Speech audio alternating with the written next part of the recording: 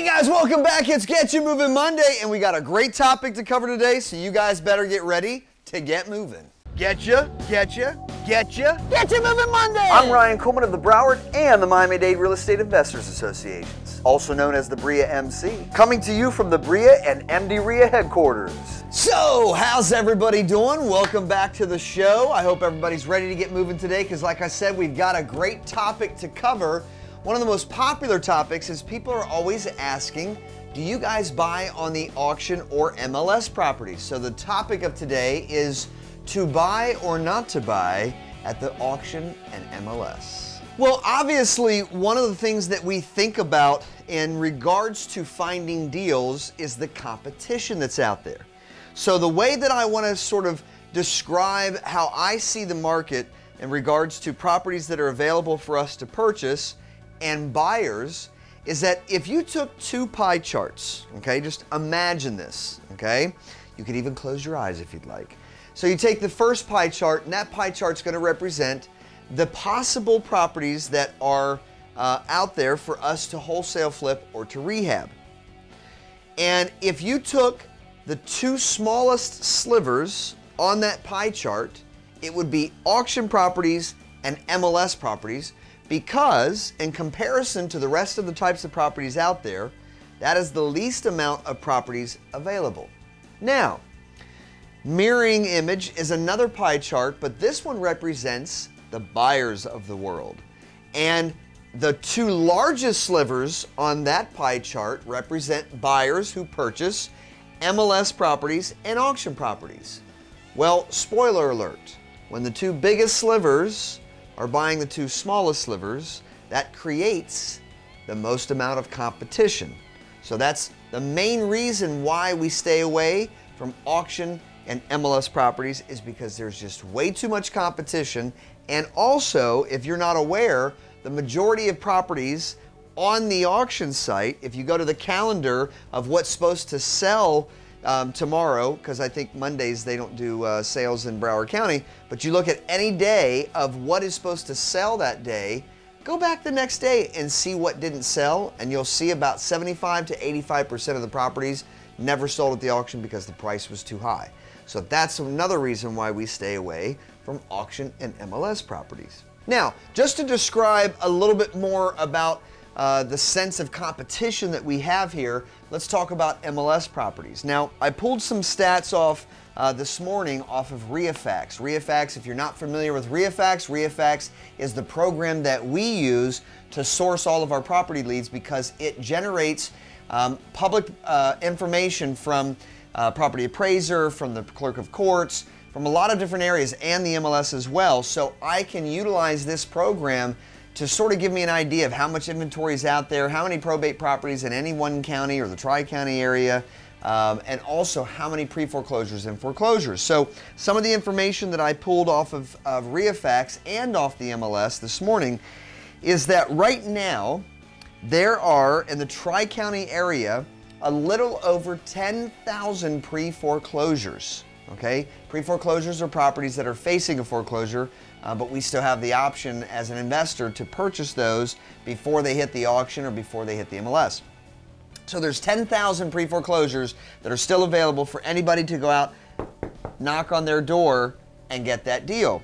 Um, foreclosures, properties that have been foreclosed on, there's only about 5,000. So there's half the amount of those pre-foreclosed properties that are actually right now uh, foreclosures in the Tri-County area. Now, in just Broward and Dade County, okay, um, I looked up on the MLS and I found that there was less than 1,100 listings for foreclosure properties, um, single family homes. So if you think about the numbers, I've got 15,000 pre foreclosures and foreclosures, and I've got 1,100 listed on the MLS. So again, you can see there's a lot more off-market properties of those pre-foreclosures for someone to find than the foreclosures that are listed on the MLS. That's again the reason why there's so much competition and why we stay away from MLS properties as well. Now, there's something else that I want you to also consider when we talk about going to off-market properties. Pre foreclosures, families that are facing a foreclosure, whether they have equity or no equity, is a great resource for us to find motivated sellers. Because remember, in the end, we're all looking for motivated sellers, period. Which again would lead me back to the argument as to why to stay away from the auction and MLS properties. Because the banks that are representing those REOs or those foreclosed properties or auction properties, they are not as motivated. In the cases that they are motivated, well, then the price would be at the point that somebody could purchase and someone has purchased it.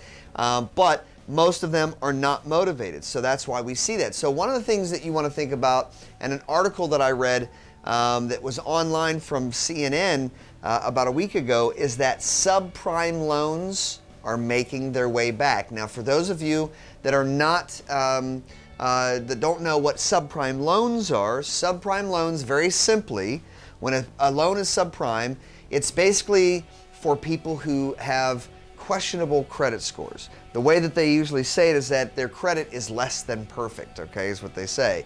But really, what you're talking about is the risk factor, okay? When the market crashed, and the market obviously crashed because of subprime loans, escalated payments or adjustable rates of mortgages, we also call them ARMs, is where you're paying 1200 a month and then all of a sudden you're paying 2600 a month, and that's why the majority of people went into foreclosure in 2007. Well, guess what, guys? We don't learn from our mistakes, and we're starting to do it again. Subprime loans are coming back for all of those borrowers that have less than perfect credit from the crash of the market. So when the market crashed, subprime loans were gone. Everybody said, I'm not taking any more risk. We've already lost, you know, our shirts in, in, in, the, in this crash. I don't want to lose anything else. I don't want to lose any more money. I don't want to lose any more uh, um, of our properties, okay? So across the board, all banks were getting rid of subprime loans. Well, now to stimulate the economy and get things coming back, because guys, we live in a capitalist society. Society is not going to work in this country if people are not borrowing to buy houses and cars and have their credit cards and blah, blah, blah, blah. So, subprime loans that are coming back because we need them and because everybody's demanding them, and you've got tons of people out there that have questionable or less than perfect credit scores, they need to be able to get loans for houses. Well, what's going to happen? People are going to get subprime loans. They're going to get adjustable rates of mortgage. They're going to lose their home to foreclosure. Now, I'm not saying we're going to have another catastrophic um, crash like 2007, but as Tony Robbins and a few other uh, um, people are saying that are in the financial world, winter is coming. So what that does is that relates to us in saying there's going to be even more of this pre-foreclosure inventory. Like I said, we have 10,000 in the Tri-County area now. Subprime loans come in for the next 10 years. We're going to see uh, um, a revolving door of people that come in, get loans, and then they come out uh, because they're losing their property to foreclosure because they cannot afford uh, the payments. You know, we're still in a very shaky economy. And so when people getting subprime loans, I hate to say it, and I, and I, I want to put this disclaimer out there. I'm not hoping that this happens. I'm not sitting here praying that our economy starts to collapse and our real estate market crashes again. Um, but I don't control whether that happens or not. I'm just going to be one of the investors here that's ready and prepared for it. Okay, so to conclude all this information, I gave you the reasons why we don't go off uh, after auction properties and MLS properties. Too much competition, prices are too high in both arenas. Then I gave you some numbers as to regards to the, the inventory, and there's a ton of pre-foreclosures, off-market properties, motivated sellers that are just waiting for you to go and knock on their door to get that property in contract, okay? Now I'm telling you that there's going to be a flood of new subprime loans that will be coming at some point in time. I don't know how much or exactly when, but I do know, mark my words, this is coming uh, because it's just something that we we have to do. We don't really have a choice in order to, it's like a catch 22. We have to stimulate the economy and get loans going on, but we also have people that have less than perfect credit scores that need to be able to apply for those loans. So it's just going to cause a little bit more risky mortgages that are going to be, you know, coming about, and uh, and that's going to change things. So we are going to see this. And by the way, one other thing that I will mention in my conclusion is that all of the loan modifications uh, that have been going through, there's there's a very high percentage of those that are also adjustable rates of mortgage. So all of these homeowners have been qualifying for loan modifications. We're already starting to see, we're getting the calls from our direct marketing. My students are getting calls, some of their homeowners in their farm areas that told them two years ago they got a loan modification. Well, guess what? They're starting to fall behind on their payments again. So we're starting to see more inventory. So in, in regards to the question, should we make offers on MLS or auction properties or not? I say no. Um, you can certainly look for deals still on the MLS and auction properties. We found one MLS property last year. Um, we found one this year, and I think we bought one or we bought two auction properties last year. But out of all the properties that we do, uh, we don't do a whole lot of MLS and auction properties. So uh, my opinion is go after the off-market deals where there's the least amount of competition. And now you know what time it is. Uh, announcements.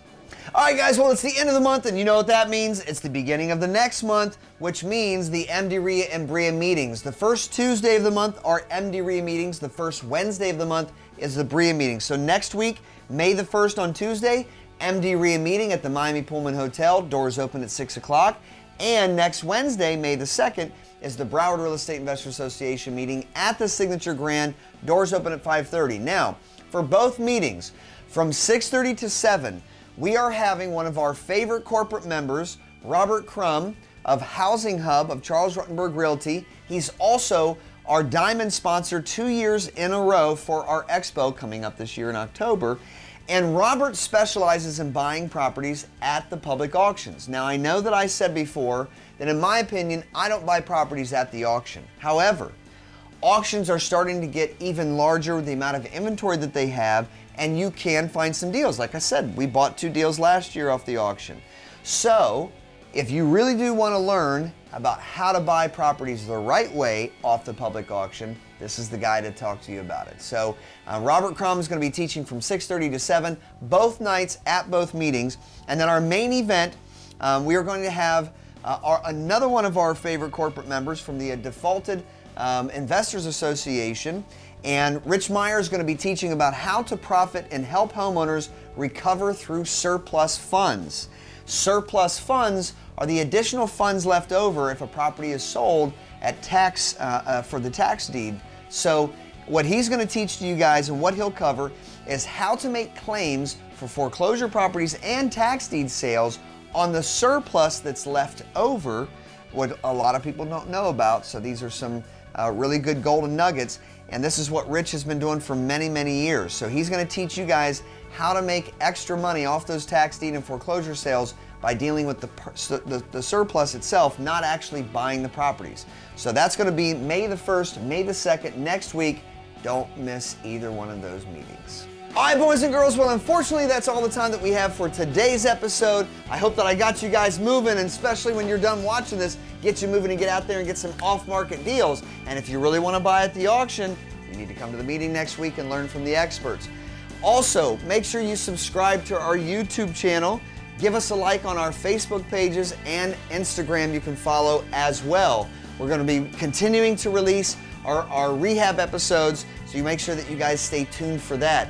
Any other events or anything that we have coming up, of course, you can always see on our websites at breia.com and miamidaderea.org. So join me next week. I'll see you guys at the next Get You Moving Monday or hopefully next week at one of the two meetings. And between that time and now, remember every day is a new opportunity for your success.